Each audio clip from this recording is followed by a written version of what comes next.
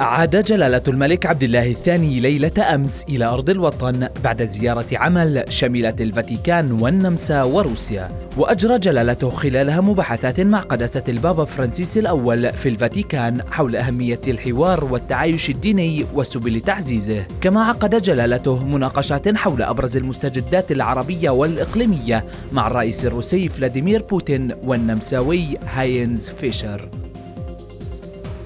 كشف وزير التربية والتعليم دكتور محمد ذيابات أن الوزارة أفرغت من إعداد مسودة خطة إصلاح للتعليم والتي تشمل على ثلاثة محاور موضحا أن هذه المحاور تمثلت في العملية التعليمية وتطويرها والسياسات والإدارة والحوكمة. والبيئة المدرسية. إلى ذلك أعلنت وزارة التربية والتعليم في وقت سابق أن اليوم هو آخر موعد لاستقبال الطلبات والاشتراك في امتحان شهادة الدراسة الثانوية العامة. التوجيهي للدورة الصيفية المقبلة.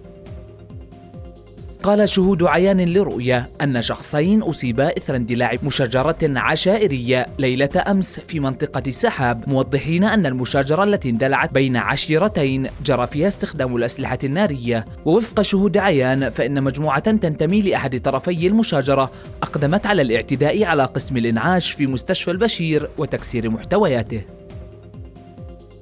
حمل وزراء الخارجية العرب إسرائيل مسؤولية تعثر مفاوضات السلام مع السلطة الفلسطينية موجهين دعوة الولايات المتحدة الأمريكية لمواصلة بذل الجهود للعمل على استئنافها. وأشار وزراء الخارجية العرب عقب اجتماع طارئ لمجلس الجامعة إلى أن إسرائيل رفضت الالتزام بمرجعيات عملية السلام وإقرار مبدأ حل الدولتين بإقامة الدولة الفلسطينية المستقلة على الخط الرابع من حزيران عام 1967 وكذلك رفضت إطلاق سراح الدفعة الرابعة من الأسرى الفلسطينيين.